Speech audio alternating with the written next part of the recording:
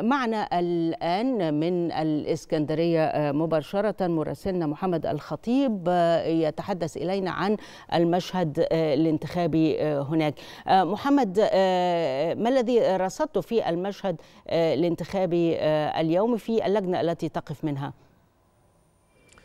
نعم يعني زملائي يعني بعد التحية بالفعل نتواجد معكم الآن من داخل مدرسة محمود سامي البارودي بمحافظة الإسكندرية. هذه المدرسة التي استعدت منذ الصباح لاستقبال الناخبين بالمحافظة. بعد أن أنهت كافة الإجراءات والاستعدادات الخاصة لاستقبال المصريين للتصويت في الانتخابات الرئاسية في اليوم الأول. المشهد الانتخابي يمكن منذ بداية اليوم هو مشهد انتخابي يعني محترم ومنظم وهادئ جدا ويسير بشكل مرتب. والجميع هنا يعني حريصين أن يكونوا يعني يقدمون كافة التسهيلات وكافة الخدمات للمواطنين للإدلاء بأصواتهم في هذا الاستحقاق الانتخابي المهم.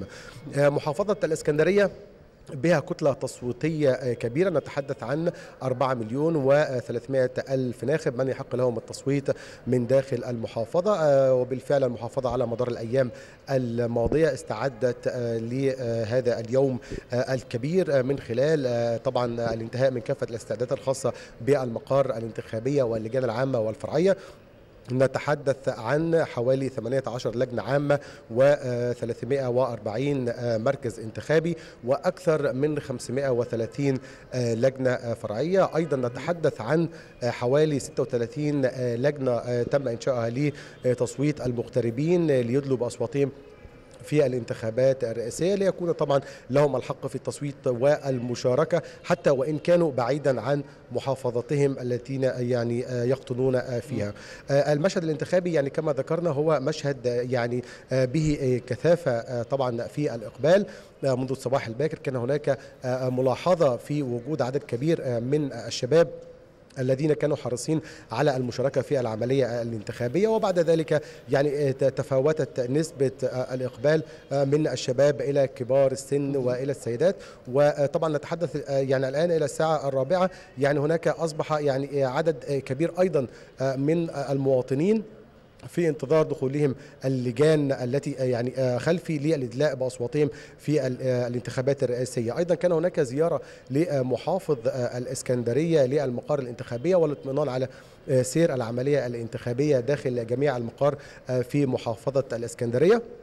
أيضا فيما يخص طبعا الحالة المرورية والحالة الشرطية. طبعا هناك تنسيق كبير في المحافظة وإدارة المرور لطبعا عدم حدوث تكدسات وحدوث زحام طبعا تسهيلا على المواطنين. مديرية طبعا الشباب والرياضة أيضا قامت بفتح 15 لجنة لإدلاء المواطنين في الانتخابات الرئاسية. إذا هناك تنسيق كبير بين كافة أجهزة الدولة وكافة يعني الأجهزة لتخرج هذه الانتخابات بشكل لائق وبشكل مشرف أمام العالم. وطبعا يعني يعني كما ذكرتي ما أهم ما رصدناه. أيضا هو مشاركة كبيرة من كافة فئات الشعب المصري. نتحدث طبعا عن محافظة الإسكندرية الذين كانوا حريصين أن يكونوا متواجدين منذ الصباح. وعلى طبعا مدار اليوم نرصد يعني توافد بعض منهم. أيضا كبار السن. أيضا لاحظنا وجود عدد كبير من ذوي الهمم الذين كانوا حريصين أيضا أن يأتوا إلى اللجان الانتخابية للادلاء باصواتهم والمشاركة في العملية الانتخابية. أيضا اللجان اللجنة العامة القضائية المشرفة هي في انعقاد دائم لمتابعة سير العملية الانتخابية من خلال تواجد القضاء داخل مقارهم الانتخابية. نعم اتفضلي. نعم محمد الخطيب كنت معنا من محافظة الإسكندرية للوقوف على المشهد الانتخابي. شكرا جزيلا لك.